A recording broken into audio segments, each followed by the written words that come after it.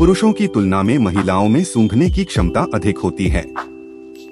महिला दिमाग पुरुष दिमाग से अलग तरीके से तारित होते हैं।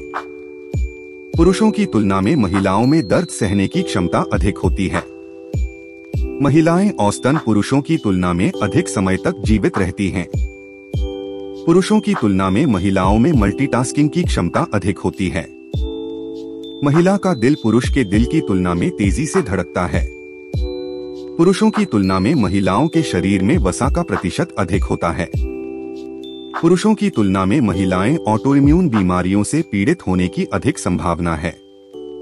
पुरुषों की तुलना में महिलाओं में ऑस्टियोपोरोसिस विकसित होने का अधिक जोखिम होता है।